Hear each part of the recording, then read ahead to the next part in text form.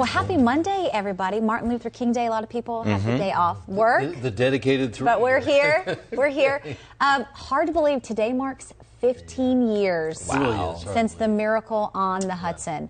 Um, we're going to talk more about this after this story airs, but let us know in the comments where were you uh, that day 15 years ago? Um, of course, 155 people survived that emergency landing in New York's Hudson River. The plane was headed to Charlotte.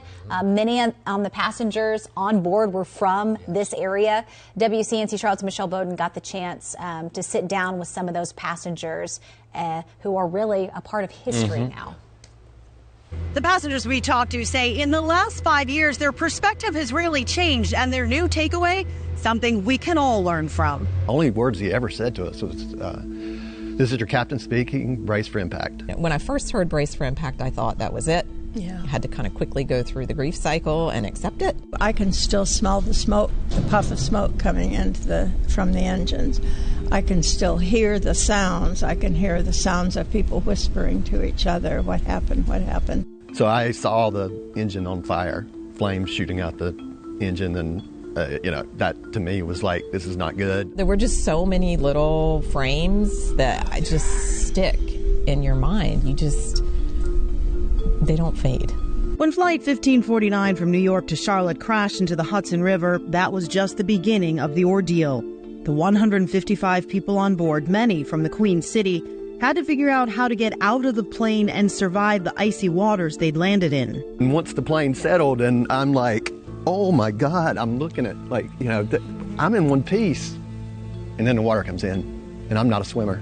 I remember being helped up the rope ladder, and I remember the bitter cold and 15 years later, and they all say the memories are as clear as ever. I literally remember stepping over the little ledge of the window to get onto the wing. An amazing feeling of hope, like, "Oh, we might actually live through this." 15 years later, their memories are clear, but their perception of that day has shifted a bit. In the last five years, these miracle passengers all say they've come to a similar realization about that day. There were 155 humans on that plane that day, and not all of them were the same ethnicities. There were different religious backgrounds. They spoke different languages. They identified gender differences, but we all came together as one. The most important lesson we saw the best of humanity that day, all around us and our fellow passengers. Obviously, Sully and Jeff and the crew and the first responders, we saw the best of people that day. And I want us to look for that again. Find the best of humanity mm-hmm. everywhere. We were given a, a gift No. Yes. to be here to continue to help other people. Yeah. And so I would just challenge people, especially in today's world. I'm constantly saying, wow, this is a very selfish world we live in. Mm-hmm. What would you lose by letting go of some of that and actually helping someone else? Like, We really could have talked to these guys all day. Their stories are so fascinating. So we've got lots more from each of the passengers. You can find their extended interviews on our website, WCNC.com. Reporting in Charlotte, Michelle Bowden, WCNC Charlotte. Wow, incredible stories. I remember covering this when I was in Connecticut, uh, but Larry, you were you were right here. Yeah, they brought the plane to Charlotte to, to the Air Museum, which will be the Sullenberger Museum this coming Sunday. Uh, but I had a chance to go on the plane and literally sit in the cockpit where Captain Sully sat on that fateful day. This was in Right there. 2012, In right? 2012, and uh, to walk down the aisle there, you can see the seats. They were left exactly where they were. The some seats were turned over. There were flotation devices in some of those. But just to walk down that plane to Wow. think what happened and the fact that they brought it here to Charlotte. The Sullenberger Aviation Museum will open this coming summer here in Charlotte, uh, out near the out near Douglas International Airport. It's going to be amazing when when it, when it opens up. Now, when I went to it, it was the old Air Museum, which they brought that here and uh, reconstructed it, put it together, and uh, you could you could. The amazing thing at that time when they first brought it here, Captain Sully told the managers of the museum said, when people walk by the plane, tell them to touch it. touch the plane. He said, Why would you tell them to touch the plane? He goes, How many times in your life can you touch a miracle? No, it's Love so that. true. Isn't that a great story? So, did you get to meet him personally? I, did, I didn't meet him that day. but I did get a chance to meet him. Oh, that's when- awesome. When they had a bunch of people from the media out there. He's so soft spoken and so unassuming to think, what, a- what a genius. How many pilots had the audacity, the power, the ability, and uh, to do that? And he's a, he, he was also a flight trainer, so he, Mm-hmm. had, he had all the accolades. But to take that plane and land it safely, the people I've had a chance to talk to some of those people. Uh, they were told to brace for impact heads down, hands overhead. So when they braced for impact, they thought they were going to hit land. They had no idea he was taking that plane in the I wonder if that landing felt different than they. well, you know, the, some of them said it was, it was kind of a rough landing Yeah. because you know when you hit water, It's still- it's still a yeah. hard hit, it's a hard impact. Uh, but they, they still didn't. It wasn't until water started coming in, or some looked out the window. We're over. We're on water. You Yeah. know, they were almost shocked. Uh, when he was here um, 10 years ago, my husband Chris actually got the chance to meet him. Oh, that's he was a guest speaker.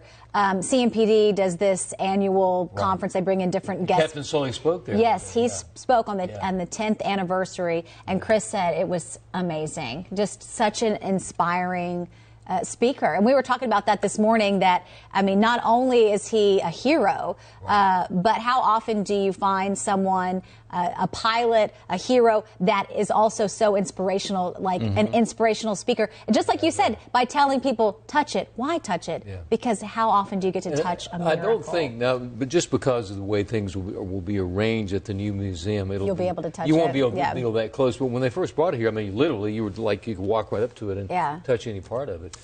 Um, and you touched a miracle. Uh, just, uh, so a question. Oh, So that first story that you did back in 2012, when did they close the museum or that area? Uh, it, they're recon- they're, it's a brand new museum Okay. they're building, uh, which will be bigger, larger, Excellent. more up to date. Uh, basically, the old one was just a big warehouse. Oh, okay. This, this will be modernized, and you'll have all of aviation history in it, especially North Carolina aviation and Charlotte aviation. Uh, out, it'll be open this coming uh, summer. I don't have the date on it yet, Yeah. uh, but the airplane is there. And you're going to see the old, some of the original Piedmont Airlines planes, the old Wow. DC-3s they used to fly, and just I mean it's a great it's a great s- I mean spectacle to see that all the different types of uh, uh, aviation equipment Yeah. that they have out there. Um, just a couple people chiming in, Joy Mott, saying, I had my TV turned on right here in Charlotte.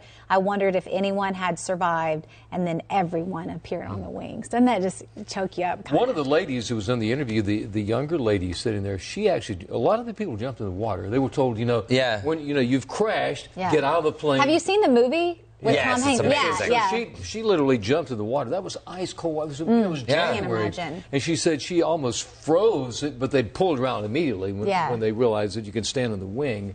But she was soaking wet. So- yeah. There were a number. There were maybe a dozen of those people who actually jumped in the water that day, Well, and, that was the thing to do. Mm-hmm. You know? and just general physics, you and I were talking about this. It's absolute perfection. You have to land that because if there's one degree it's too far down, that's going to nosedive, and then you're looking at a completely different story. So it just shows the skill, but then also the reaction time.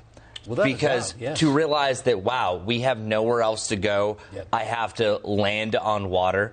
Uh, incredible man, and Yeah. I've also heard nothing but great things about, like you about- said, about who Yeah. he is as a human being. The thing So. about Captain Sullenberger is that he is a he was a flight trainer, so he taught pilots in addition to pilot himself. So he, you know, in some of the conversations, in big discussions about it, many pilots are trained to take a plane back to the closest runway. Yeah, and that's what they were telling him to they were do, told right? that. So many pilots may have tended to go towards an airport, and so the landing would have been on ground. How many pilots have said, you know what, that's the spot right there? Yeah. How many? How many would have the wherewithal to know I'm going to land it on yeah, water? Yeah, this is what we need to do. that mean? Uh, John Kelly just chiming in after hearing from some of those survivors saying, great lesson, find the best of humanity. Seriously. So uh, Wow. keep chiming in. Let us know where you are. Of course, our web team is going to post uh, in the comments. Michelle has much more on these interviews, extended versions on our website uh, that you can watch as well. So we'll see you back here tomorrow. Have a great Monday, everyone.